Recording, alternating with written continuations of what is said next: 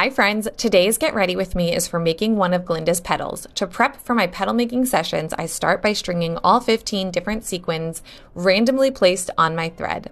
The fastest way I found to do this is by hand. Then I baste my design onto my bobbinet by outlining the petal and then outlining the design within the petal. From there, I attach the fabric to my loom and I'm ready for some cozy YouTube videos and embroidery.